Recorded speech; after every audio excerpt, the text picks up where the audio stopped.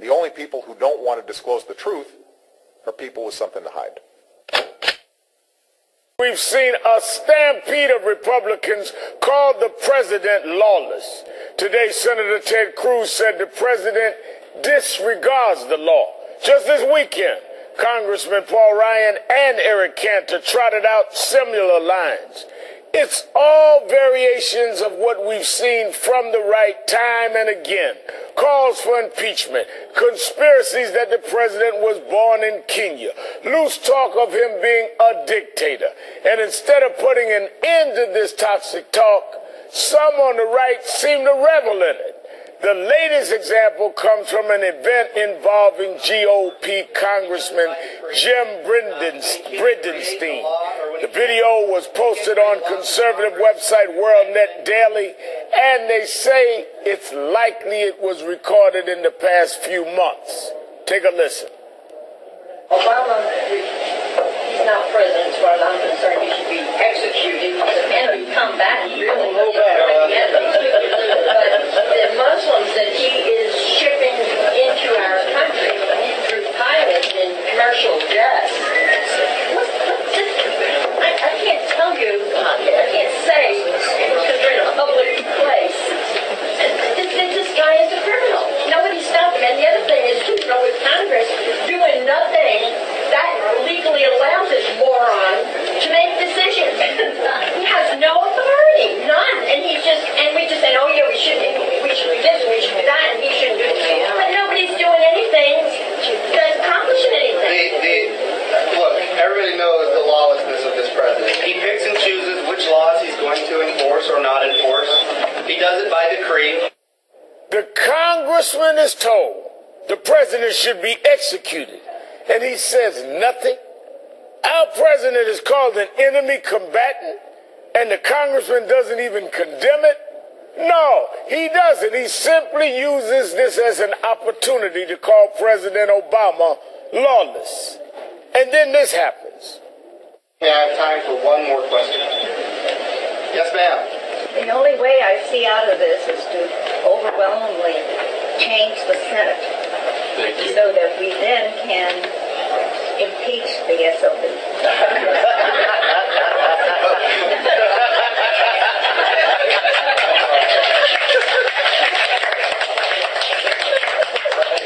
know, you look so sweet. Laughter, laughter when the president is described that way. Whatever happened to reasonable disagreement?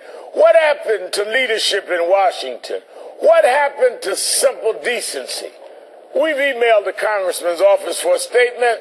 As of yet, we've gotten no response. Joining me now are Michelle Cottle and Goldie Taylor. Thank you both for coming on the show tonight. Thanks, Reverend. Thank you, Reverend. Goldie, how can an elected member of Congress hear vicious rhetoric like this and simply let it go? He can do it if he has a very, very conservative base uh, with his party, with his county GOP. He can do it if he has a very conservative red district. He can do it if his national party, people like Reince Priebus, you know, fail to call him out on a daily basis. I mean, he can get away with this kind of thing. The fact of the matter is, the people who are uttering words of impeachment are people who don't understand the standard of, of, of of law that it takes to, to bring an impeachment, articles of impeachment. They don't understand the process uh, that it takes to work its way through the House and through the Senate. What they really don't understand is what an impeachment process really does to this country. It shuts down everything. It shuts down the talk about jobs. It shuts down talk about growing this economy. But before it they shuts can down, shut it you know, down, they have to have something to try an impeachment on. There's not even That is the- a and that- charge here. that is the legal and they're basis. not even, Michelle, acting like there's a charge.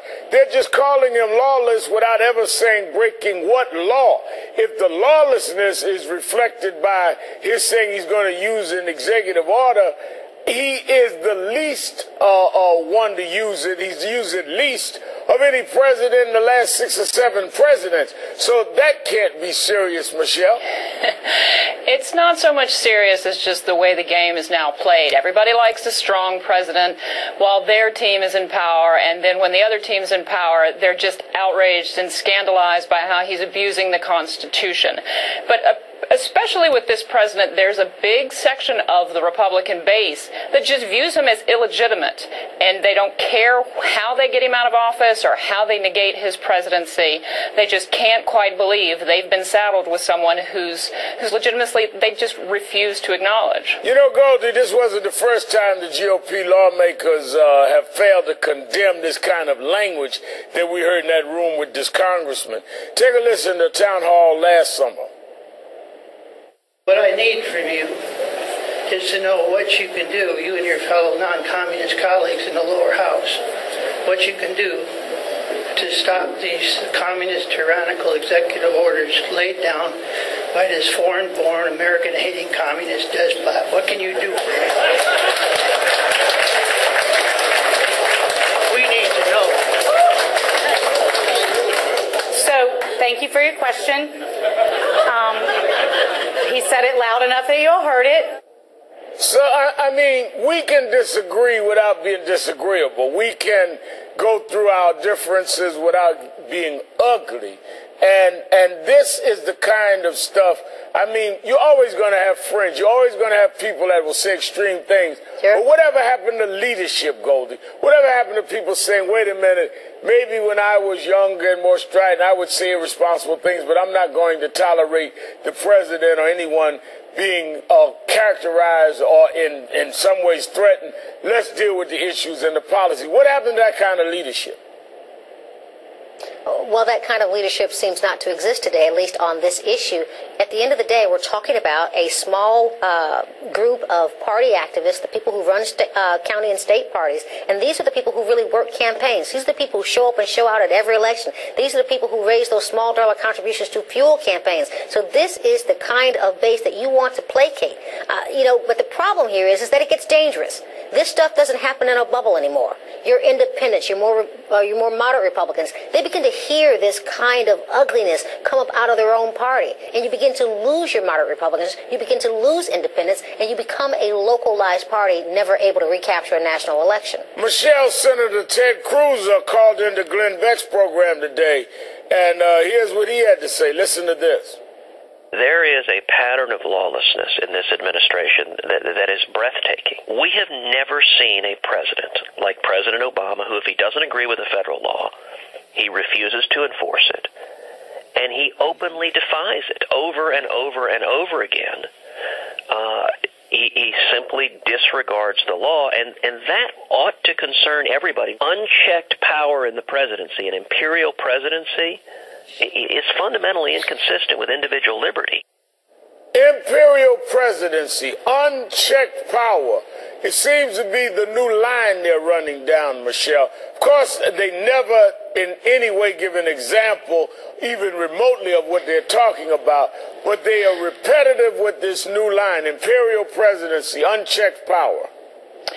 You know, in this case, they talk about appointments, controversial appointments to the Labor Relations Board, or laws that he chose not, that the president has ostensibly chosen not to, uh, you know, enforce. But it all comes down to Ted Cruz knows which side his bread is buttered on. He has risen to power and made a name from himself, for himself by playing to the passions and paranoia of a lot of people uh, in the base who just can't quite believe this president you know, is still in office. So I think kind of the extreme language plays very well to the people he's talking to, and he's not really all that worried about a broad-based appeal right now.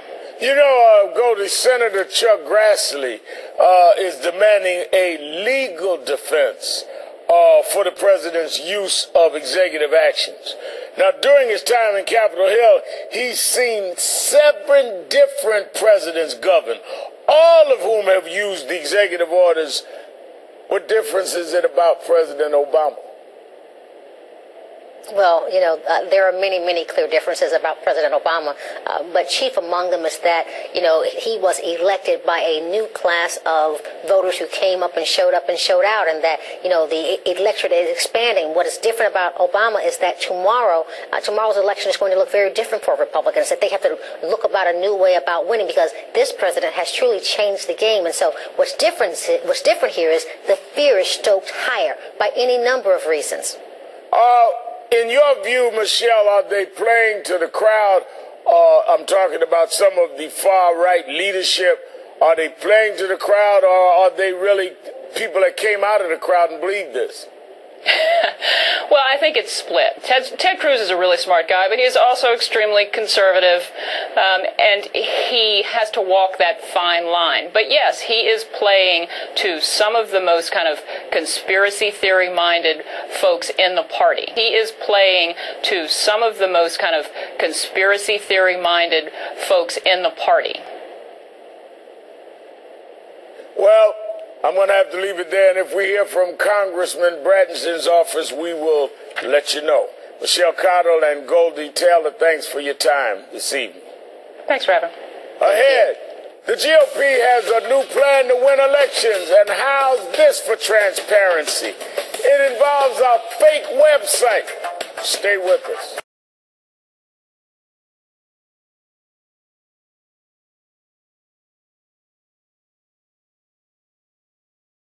The only people who don't want to disclose the truth are people with something to hide.